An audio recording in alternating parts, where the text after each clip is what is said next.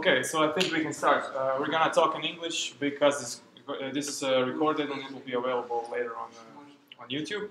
So to introduce myself, I'm Ivan, one of the Android uh, team leaders, and I'll be talking to you about a simple 2D game with a physics engine that we've developed. So let's go. What's the game about? Uh, it's a very simple game. Basically, the there's balls that are falling from, from the sky or the top of the screen, and you have a basket, a bucket actually, uh, on the bottom of the screen that you can slide uh, from left to right. And the, the idea is uh, within a time limit to cut, catch as much uh, balls as you can in, in that bucket. So what do we need to implement this game? First of all, we need a way to generate objects. Uh, in this case, balls that will appear from the top and fall down. Uh, we need a simple implementation of a physics engine that will uh, apply the gravity and calculate the collisions. And we, we need to implement uh, the scoring and limit. So let's start with, with spawning those objects. Uh, so basically, each object uh, in the game is either a circle or a rectangle. Uh, later, I'll explain where do uh, rectangles come into place. Um, it has a number of properties. It has a flag which notifies if the gravity is applied to that object or not.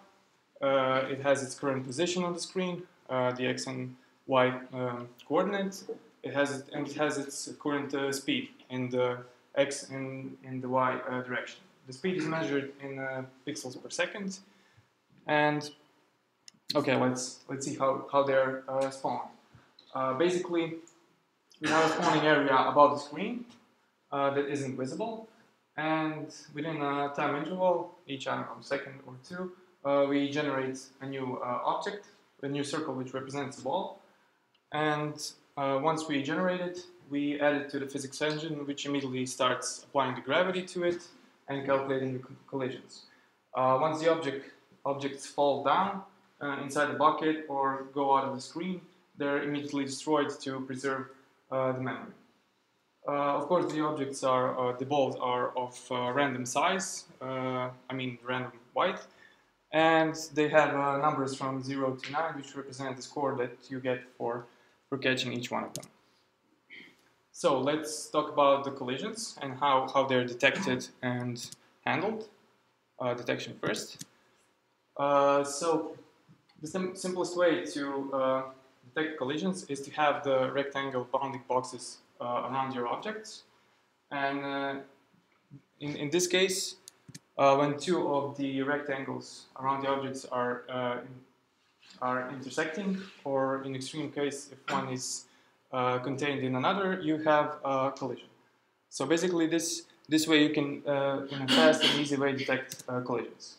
There's two other ways. Uh, you can, for circles, you can check uh, the distance between the radius of circles and check if they're um, smaller or equal to the sum uh, of their uh, sum of their radiuses. Uh, another special case is when you have a rectangle and a circle. Uh, in that case, you have to take the point that's closest, point in the rectangle that's closest to the circle, and the center of the circle, and check their distance. Uh, what we do in the first step on each frame is we uh, check the bounding boxes for each of the, um, the balls and uh, we check if they are overlapping. If they are, there's probably a collision and then we do some more uh, in-depth checking, which I'm going to explain right now. Okay, uh, after we know that the two objects are uh, have probably are probably colliding, uh, what we have to do is calculate the new speeds for the objects so they move apart. Uh, basically, what what this case is, it's a two-dimensional elastic collision that you probably remember from your physics classes. So the idea is that uh, every object has its impulse or momentum, which is defined by uh, the mass times the velocity of that object. And when those uh, objects collide, there are formulas to calculate the new velocities of each of the uh, objects. Basically, we compare uh, two by two objects from all of them and calculate new velocities. I won't go into details and into formulas how this is done. There's some references at the end of the presentation where you can uh, check out the formulas if you want. I'm going to just give you an overview how we do it for, for each of the cases. Uh, if you have two circles, um, first thing you have to find is the, the normal.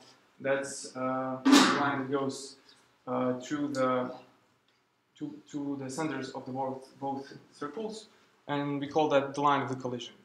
Uh, we have to split the velocities on the velocities of each object along that normal and the velocities perpendicular to that normal. Uh, that's basically translating into a new coordinate system relative to that uh, normal. And after that, we calculate the new velocities along that normal and along the tangent, and we uh, calculate them back to the global coordinates. Uh, the case for uh, the circle and the, uh, rectangle is almost the same, uh, but in this case, you you are looking at the center of the, the circle and the closest point on the on the rectangle. And basically doing the, the same thing. Okay, once you've done this, uh, your objects will will collide and and uh, then bounce off each other, uh, but it still won't be um, totally realistic. To, to add that realistic element, uh, you have to add something called the restitution co uh, coefficient. Basically, um, in, in reality, for example, if you if you drop a ball to um, to the ground, it will bounce, but it won't bounce back to the same heights from which you've dropped it. So you have to lose some of the some of the velocity. And basically, what we do, we just uh, multiply the calculated velocities with some coefficient, which makes it feel um, more real. And okay, this is how, how it's imagined in the game. Uh, each each ball is represented with a circle, and uh, here's the enlarged picture of that bucket that's on the bottom. And we have two rectangles that, that aren't visible, but here they're, they've been drawn so you can see them, uh, which uh, define the collision points for, for uh, the balls. So you have the feeling that they're bouncing off the edges of, of that bucket. Uh, also, I want to mention that the mass of those rectangles is defined to be infinite. basically, what that does is it keeps them in place. They don't bounce off when they've collided. Uh, they're like solid balls, and only user can, can drag them uh, across the screen. And yeah, that's, that's how we achieve that um, collision with, with the bucket. Okay, uh, if you if you go on and implement all this, it's gonna be fine. But you'll notice uh, one one artifact called um, sinking. Um, what happens is that due to floating point errors that accumulate over time, uh, for example, if if an object, or uh, for example, a ball falls on the ground or on the uh, um, the border of that bucket, and over time, if it didn't bounce off, it would start to, to sink uh, because on each calculation, uh, you you accumulate some error, and the position of the wall starts to uh, fall down. You starts to change due to the gravity and everything. Uh, in order to compensate that, uh, you simply, uh, when you um, when you when you uh, handle the collision, you have to move the objects that are colliding for a small percentage of their mass along that colliding uh, normal, and that will, that will reduce that that effect, that artifact of um, of sinking. Okay. Uh, so let's talk about uh, scoring a little bit and how we've uh, done that. Sorry. Uh, so as I've said, the idea is to collect money, as many points as you can in a limited amount of time uh, by catching catching those balls. And in uh, in order to achieve that uh, scoring, we have a rectangular region uh, between those two that I've mentioned earlier, in which we check if a if an object, a circular object that represents a ball is within that region, it means that it's, it's been caught inside of the bucket. So uh, we, lead, we delete that object, we uh, add the score, and yeah, the, the physics engine won't calculate uh, the collisions for it anymore. Uh, now let's give a short architectural architectural overview of, of um, the engine. Uh, basically, yeah, it's really simple. You have a physics engine that does all the physics calculations on each uh, on each frame. It works with uh, circles and uh, recta- rectangle objects and calculates gravity and um, and their uh, collisions. And you have a generator that constantly spawns new new uh, objects on the top of the screen. And how, how did we do that in, in Android? Uh, basically, we, we, we've extended a view. We didn't use OpenGL. You might ask yourselves why. Well, we didn't need to. It was fast enough even without the OpenGL. Uh, what we did, we, we just um, forced the invalidate inside of the view inside of a loop using a handler.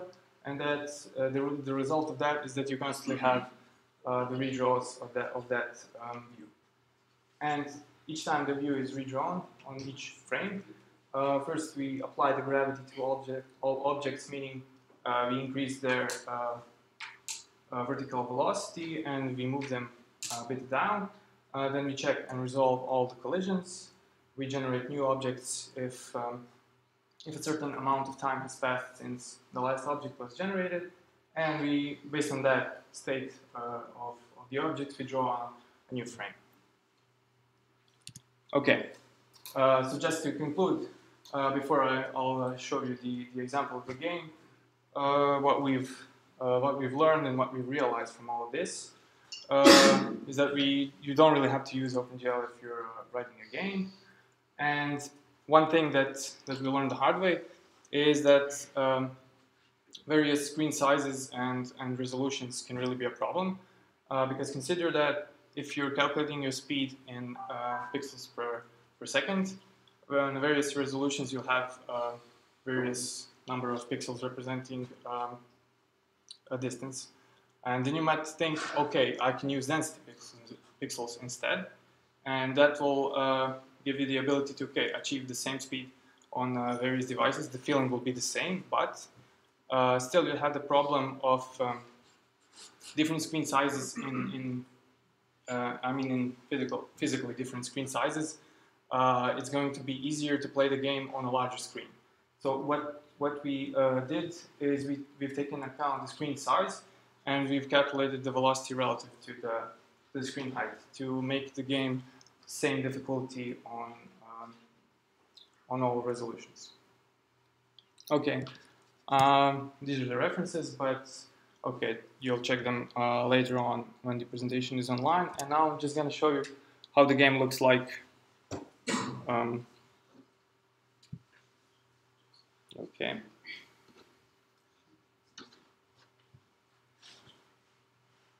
So yeah, I can see collisions are working.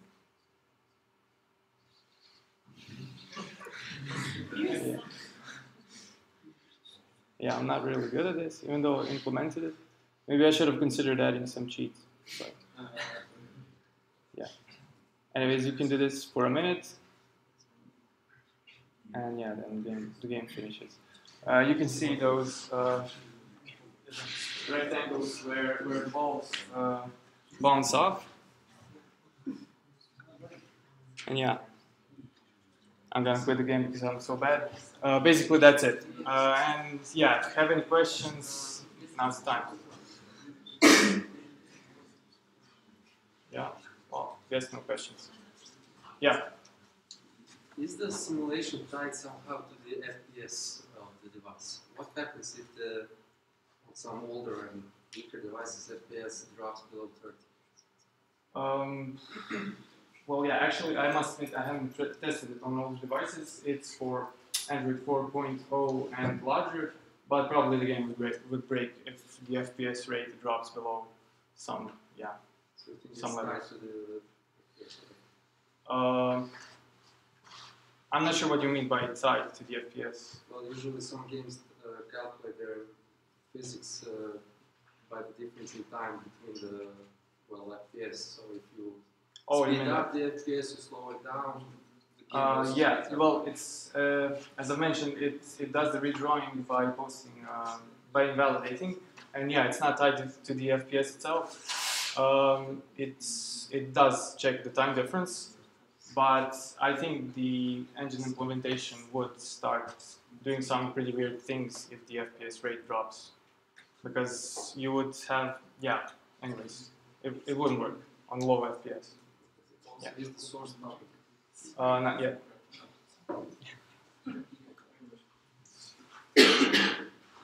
Yeah. Sorry. Why did you put such a high restitution factor on the balls? Oh, I mean, they, they bounce all over the screen. They must, well, I checked the restitution factor for, for the plastic balls and I've added that. Yeah, so it kind of worked for the game. It, it looked fun, so I stick with that. Yeah. Yeah. Yeah, you. Uh, how did the quantity of the balls affect your performance overall? Did you encounter, like, for instance, if you had, uh, let's say, 100 randomized balls spawning at the same time, would it crash your app, or would it go slower, or how would that go? Uh, it would definitely go slower. I, ha- I must admit I haven't tested uh, because we didn't need that that much. Uh, it wouldn't be playable, but it would probably slow down, maybe even crash if if it exceeds the memory. But I must admit I haven't tested that. But let's say, did you uh, put, like, a control border, how much maximum amount of balls can be spawned that Mm, no, no. No. Anything else? Yeah. Uh, sorry. yeah. Uh, for an object, do you check collision uh, for each and every other object, or do you uh, have some sort of optimization? Uh, we, we have an optimization. You don't check, check each uh, two pairs. Uh, basically, you have two for loops uh, each in another. First one goes through all the objects, and the second inner one goes through um, the current object and all the rest. So, not sure how to explain it better. Uh, you don't check every every object with every other, but those two that you've already checked, you don't go through them again. Yeah. Ah, sorry.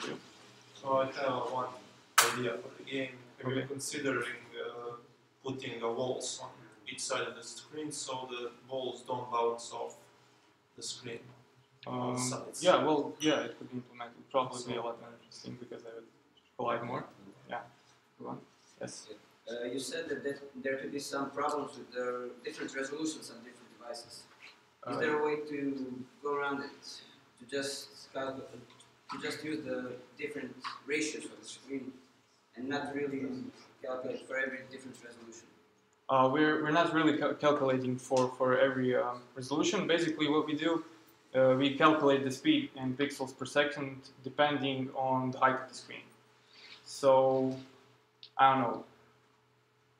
The idea is that the, if you have a larger screen, the speed will be faster, but the time from for, for the ball to fall from the top to the bottom is always the same. That's that's kind of our idea. Yeah. Uh, anyone else?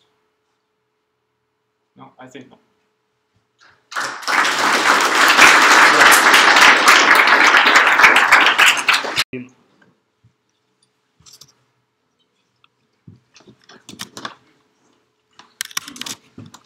Hi folks, uh, my name is Miroslav and I'm Android engineer at Infinum. And today I'm going to talk about uh, Android Studio plugin. And uh, it's based on our experience on developing Garfield. Uh, so uh, what was the problem that we were dealing with and probably most of the Android developers are dealing with the same problem is that there is a lot of boilerplate code out there. So Okay. Uh, so, uh, uh, as you know, there are many examples of boilerplate in Android, and uh, take for example, sending an email or sending SMS or marking a pin on a map. Uh, you always have to write many lines of code to just do one logical operation, and that's boiler boilerplate.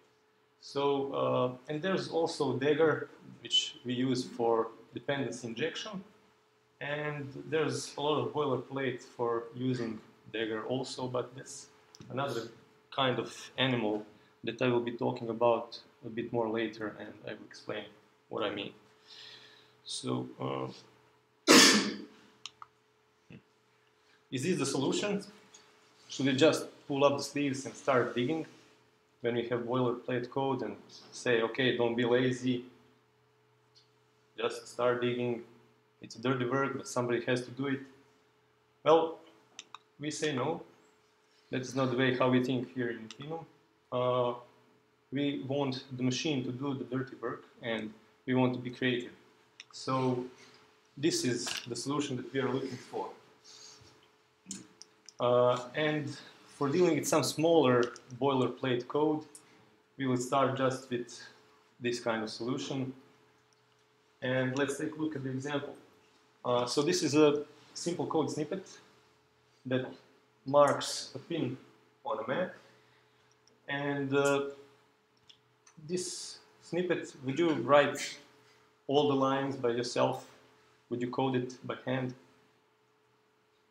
Maybe you would. Maybe someone would. It's not that big. But how about this?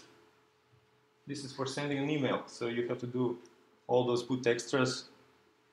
So what you usually do, what I do, I go to some project that I already did before and I just copy and paste.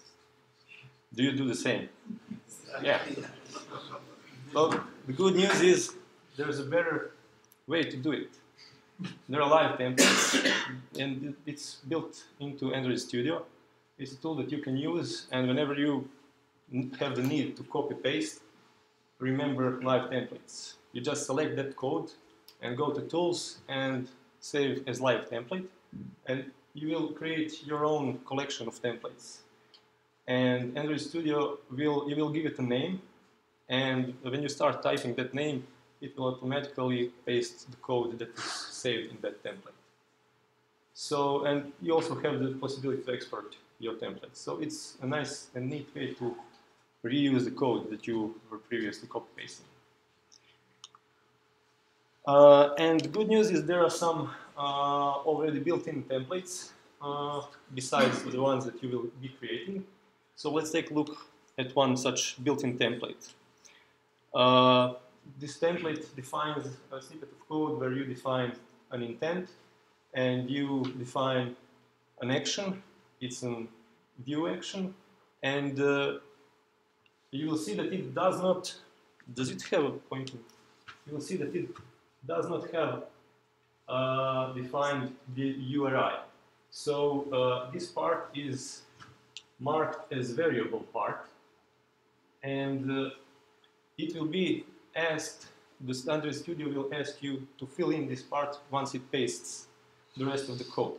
So besides just, just using static code, you can customize and uh, mark the variable parts.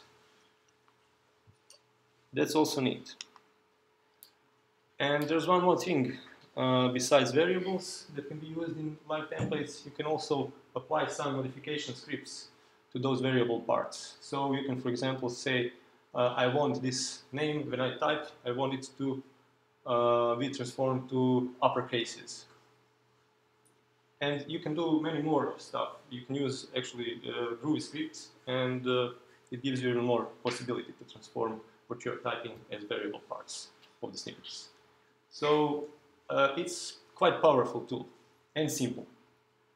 You can create uh, live templates just like that. And uh, there are also some limitations that we must mention. Uh, so they can generate code uh, inside a file that is open, but it cannot generate new classes, new packages, new files, and it cannot uh, check if there are any uh, members in the class. So that is the limitation that we were facing, and that is why we needed something more powerful and uh, uh, we actually are generating several classes and it's related to our use of uh, MVP and Dagger for dependency injection and that is actually some good practice to develop our code and uh, now I will try just to explain a bit how many classes do we generate. That is why we are developing Garfield. Uh, so uh, for using MVP, we need to generate uh, one interface for model, that is also called interceptor, one for view, and one interface for presenter, so that's three classes. Then we need to generate uh, implementations for each of these interfaces. So one implementation goes for uh, interceptor, uh, for interactor, sorry, uh, one for view and one for presenter. Okay, that's six files that we need to generate, and two more for Dagger that uh, is used for dependency injection. We need to generate class, we need to generate class uh, component and module.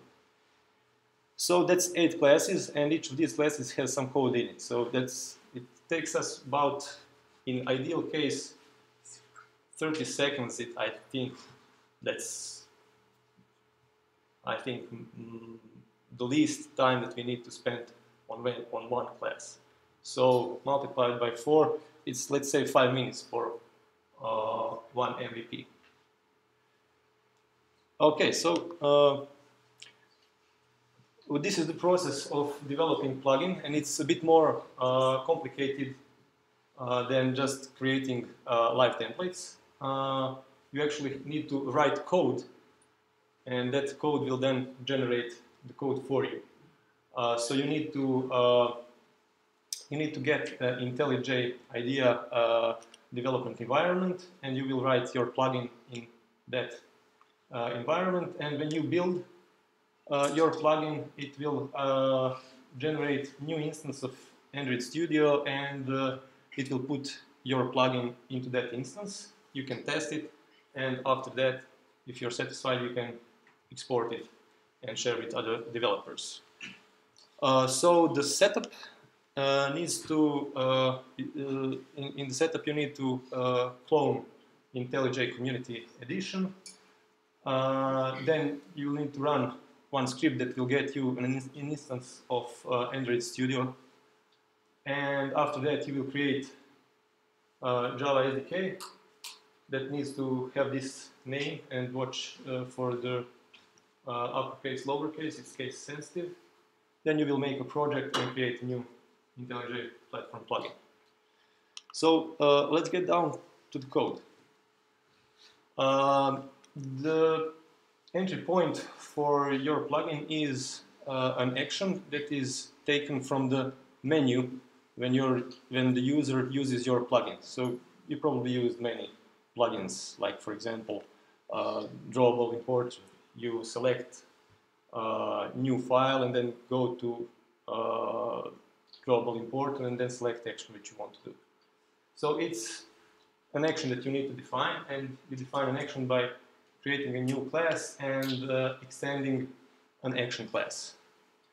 And once you define a new uh, action class, uh, it will prompt you, uh, actually it will complain that uh, this action is not registered, so you can register it just by uh, pressing Alt-Enter, and you will get this kind of form that will you will fill in all the details, and the details will be saved in the plugin XML. Uh, and after you created an action, uh, you will uh, want to uh, take some user input from uh, for, for reacting to uh, some input that you want the user to do. And for UI, you will use a Swing UI. and most probably, you will use a dialog to get the user input. and for getting the user input, you will create uh, a form. Uh, it's, uh, it has a binded code behind that UI form. And you will need to extend dialog wrapper class uh, in that code behind the UI, and you will have to override this crucial uh, method and return the root panel. It's the it's actually the parent, the top parent of uh, all the widgets that are used in the form. So that's what you need to return. And after creating your UI, that takes some parameters. Uh, for generation of the, the code, uh, you will need to uh, get the name of the package into which you want to generate classes. And therefore you will use Android Facet. So IntelliJ actually has uh, several uh, facets, and facet is actually uh, the thing by which IntelliJ different, uh, differentiates between what kind of uh, framework or language are you using? Is it Android? Are you developing Google App Toolkit, Enterprise Java Beans? So we'll use Android Facet, uh, and then it will know that there is Android manifest, that there are resources and stuff, and it will know how to handle that. And you need to get the package name uh, in this kind of way or similar. Uh, use this way to get it from Android manifest. And after you get uh, uh, the package, uh, then you actually go to generating the code. And we found that uh, JavaPoet is quite elegant way of uh, creating new code. Uh, so here, uh, gray uh, letters are uh, just simple hello world class that has one static method main and prints out a string. And with this this yellow text is JavaPoet and how it generates this class. So the first line you see that you're using your method builder and uh, then you are adding public static modifiers. You define what it should return, what kind of class, add parameters, add statement, and it's quite elegant, it's not complicated. Uh, and then when you created your method, then you the same way you create your class with class builder and you give it uh, the, method that you created before. So, is that sounds good? Is it complicated? No. So, uh, just a few more um, words for the end. Uh, be smart, be lazy.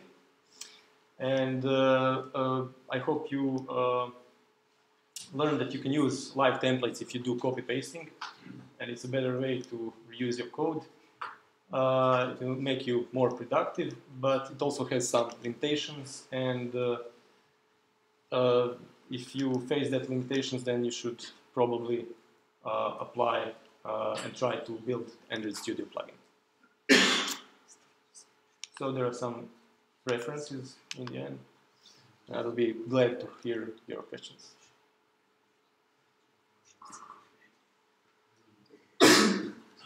Nikogo ne zanima koji je traktor na slici. so you're developing the Garfield plugin. Uh, so how many functionalities does it have currently? So Mhm. what Uh, can you build, what you cannot build, and what is the future set for the future? Yeah. Okay. So uh, I'll just repeat for the uh, for the recording stuff. Uh, so the question was, uh, how many features does the Garfield plugin have, and what features are we planning to uh, provide in the future?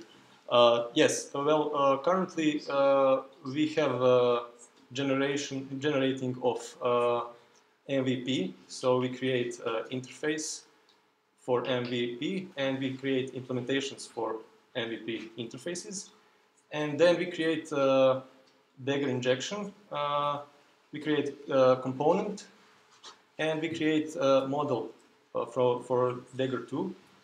And uh, in the Dagger uh, model, we create all those provide methods uh, that uh, provide us uh, uh, an interactor, they provide us a view, and they provide us uh, the presenter.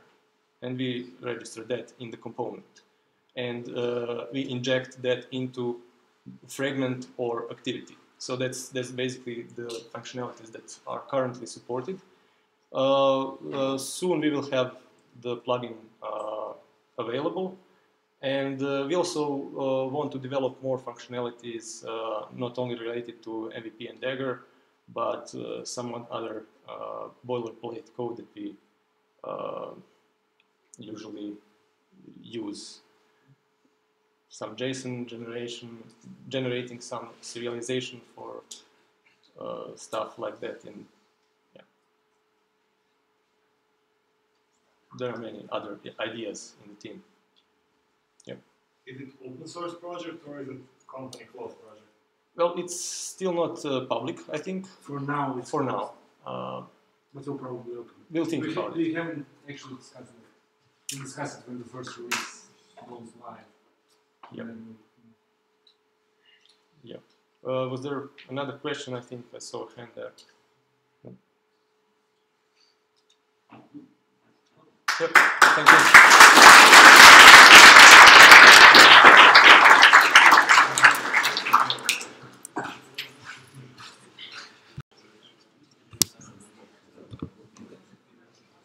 Here you go.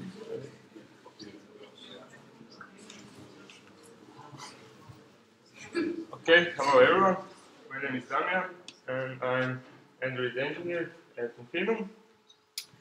And today I'm going to talk a little bit about uh, how we deal with crashes and our crash handling for our apps. So uh, we have three main topics.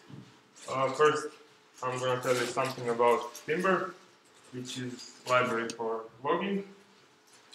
Then I will tell you something about Crashlytics and how we combine those two, Timber and Crashlytics. We have uh, very nice uh, crash handling. And then uh, last thing, I'm going to show you uh, one crash handler. I'm going to explain what is it and what it does. So, uh, what we want, uh, what do we want with our uh, crash handling? When our app is in development, uh, we, we want all our logging and all uh, uh, crashes, or stack traces that happen, we uh, want all of them to be printed in Logcat in our Android Studio. Uh, but on the other side, when our app is in production, uh, we don't need any logging. It's useful, unuseful, and uh, it's potentially harmful because it can contain some private data. Data so uh, we just don't want any logging uh, to be happening in production. But uh, what we want is all our uh, crashes or maybe some messages uh, to be collected somewhere. And for, for that, uh, we use Crashlytics. Okay, what is Timber? Timber is a library made by, by Jake Wharton. Uh, basically, it's, it's uh, a little bit better uh, than normal uh, work, Android work class because it provides some uh, utility uh, on top of it and it provides it's you can configure it in many ways. Uh, it has logging methods just as normal uh, uh, Timber, uh, just as normal class, and um, it by default it doesn't uh, it doesn't do any any logging. Uh, if you don't configure it, it won't. If you call, for example, one method, uh, let's say debug method, uh, nothing will uh, happen. Why is that? That's because we need to call in our apps on create. We need to call uh, plant method and provide it with some tree. Uh, yeah, uh, this is uh, debug tree. It's it's one of Timber's default uh, trees, uh, and what it does, it simply prints everything to Logcat. So if you do this first line and then whenever you call some Timber method, what will happen is it will work just like normal uh, log class but also uh, we can uh, provide our implementation of this timber tree and I will show later why it's useful. Okay, uh, next thing is Crashlytics. Probably most of you uh, know what's Crashlytics. It's just a reporting tool. Uh, so when you're at, at uh, what will happen? stack trace alongside with some other data will be sent to server and you can uh, go to, to Crashlytics website and see what's going on with your app. You can see uh, here's uh, how it looks like. You can see on the top there is uh, some basic information about um, uh, device model, Android version, and so on. And then you will have um, stack trace or some your messages. You, you can also uh, provide uh, your message, send some message to, the person. But all crashes will be will be logged there. So when our app is in production, uh, this is what we want. We want all uh, messages, all the crashes to be reported uh, in the Crashlytics, but it's it's not useful for us when it when we are developing uh, because because we can see in uh, what's going on. Uh, how to how to do it? How to uh, have two different behaviors. So first thing you need is uh, to define Timber's crash reporting tree uh, for production phase.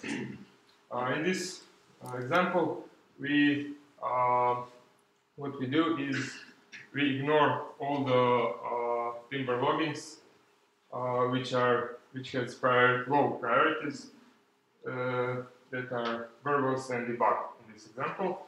So whenever someone logs debug some debug message, it will it will be uh, nothing will nothing will happen. But um, all the others will be logged to Crashlytics, and also if it's exception, it will be a whole stack trace will be sent. Uh, next next thing we want to do is in our apps on Create to initialize Crashlytics and uh, set it disabled when it's uh, when, when we are in debug mode. We know that from our build config.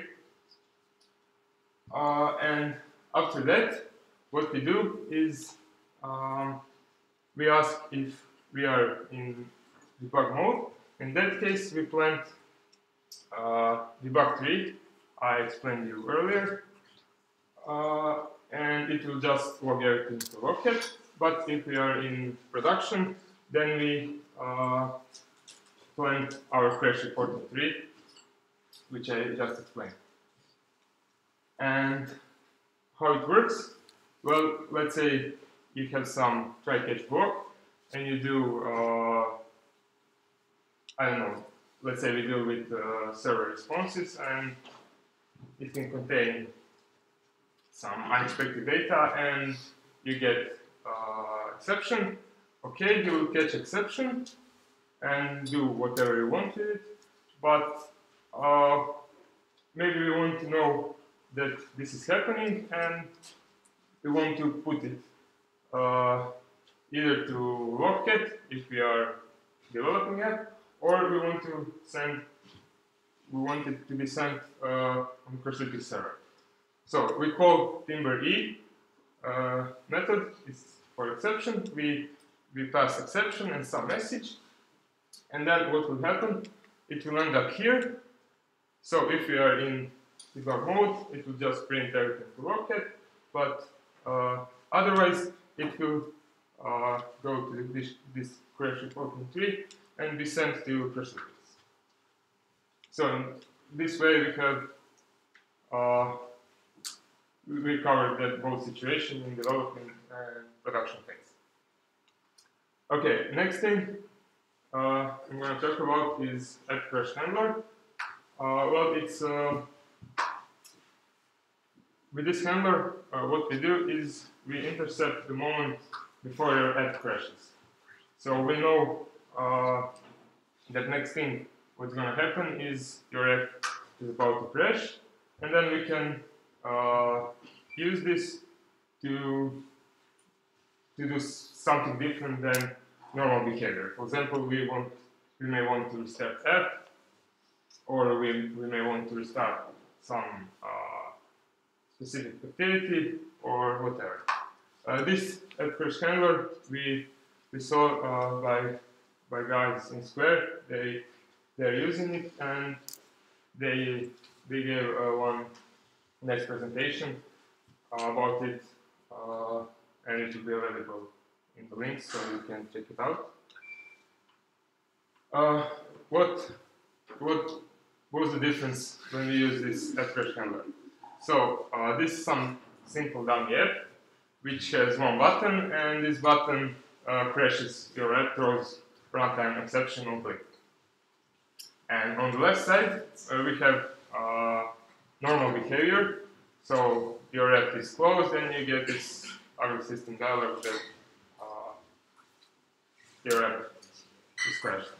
But on the right side, we are using uh, this crash handler, and that, in this particular case, uh, we we intercept the moment when it's about to crash, and we say, okay, let's restart the main activity. It's just the same activity, but we pass through intent uh, one boolean saying, okay, I can come from fresh. uh, and then in on, on creates of that activity, we uh, saying if you are coming from fresh, we just display this dialog, some custom dialog. We, we could just uh, restart activity or some other activity, whatever. And here's how to do it. You have to implement your own uh, thread exception handler. Basically, this is a little bit simplified uh, um, version, not simplified, but just the core main things you need. You have to keep uh, a reference to live activity, and then here you end up here when your app is about to crash. And what we do is uh, just put uh, main activity intent and finish this one and start new activity. So this particular case will just restart your main activity. You can, yeah, you, you can do whatever you want here. And to to get this working, you just need uh, in your apps on create to uh, set this default uncaught exception handler to be your uh, handler, and then uh, it will work. Uh, yeah, and I have to mention that uh, all the stuff I told you before about Crashlytics and Timber will work alongside this with any without any more configuration. Uh, when you app crashes, you still get uh, notification in uh, Crashlytics. And yeah, thank you. That's it for me. Do you have questions? Yes. I want to uh, two slides before this one. You had system exit zero. What does it do? Uh, nothing. Just uh, closes. Uh, the whole process three or yeah. uh, I believe that. Any more questions?